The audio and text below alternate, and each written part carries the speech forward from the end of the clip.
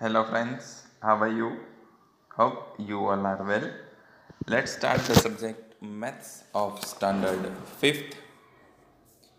In that, page number 177.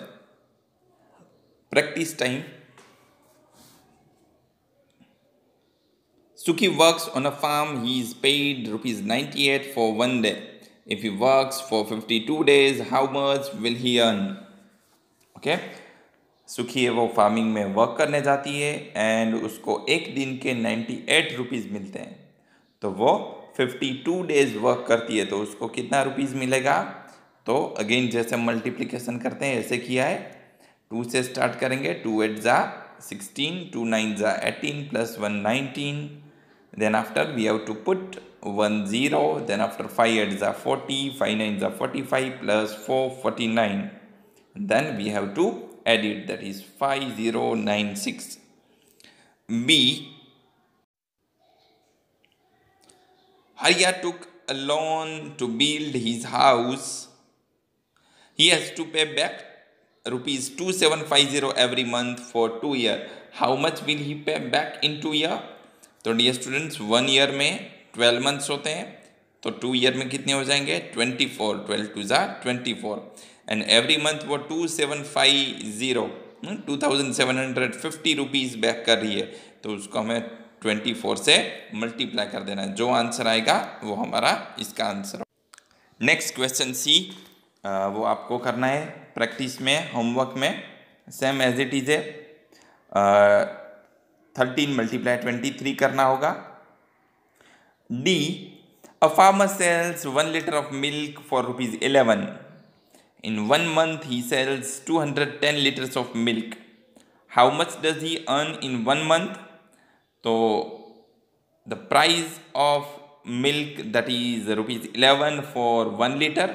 तो 210 litre का कितना हो जाएगा हम क्रॉस मल्टीप्लाई करेंगे 210 मल्टीप्लाई 11 देन हमारा आंसर मिलेगा 2310 तो पूरे मंथ में उसका अर्निंग हो जाएगा 2000 three hundred ten rupees next Eid a company sells one litre of packed water for rupees twelve and shopkeeper buys two forty litre of packed water how much does he pay again एक बोतल की price है twelve rupees and ऐसे वो two forty litre sorry one litre का price है and two forty litre total हो रहा है.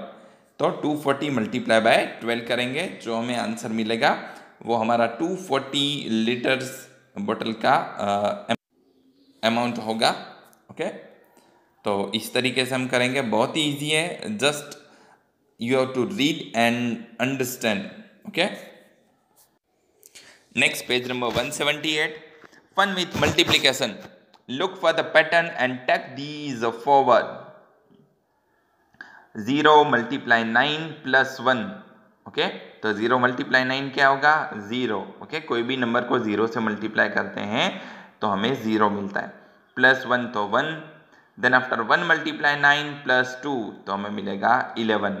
Then after one, two, twelve multiply nine, plus three तो three time one one one. Now, one, two, three multiply nine, plus four तो हमें four times one मिलेगा then five time six time ठीक है तो डी स्टूडेंट्स यहाँ पे हमें क्या सीखने मिलता है? पैटर्न देखो। सबसे पहले ज़ीरो मल्टीप्लाई वन था ज़ीरो के बाद वन आया वन के बाद one two then after one two three one two three four one two three four five okay multiply same है। Nine nine nine nine nine nine सब में। Okay okay? सब में मल्टीप्लाई सेम है। Nine nine nine nine nine plus number increase होते जा रहे हैं। One two three four five six अब जो हमें आंसर मिल रहा है फ़र्स्ट में वन टाइम वन फिर टू टाइम वन फिर थ्री टाइम वन फिर फोर टाइम वन फिर फाइव टाइम उस तरह से okay be each letter A B C here stand for a number यहाँ पे जो ए अल्फ़ाबेट दी है तो वो नंबर है ए बी वट ओके कौन से नंबर है, वो आगे बताएँ। तो यहाँ पे मल्टीप्लीकेशन करके उसका आंसर दिया है। Take a equals to 1 then find what the numbers B and C will be. अब यही क्वेश्चन में हमें सिर्फ़ एक ही जगह वन रख देना है एंड देन ये सम कैलकुलेट करना है।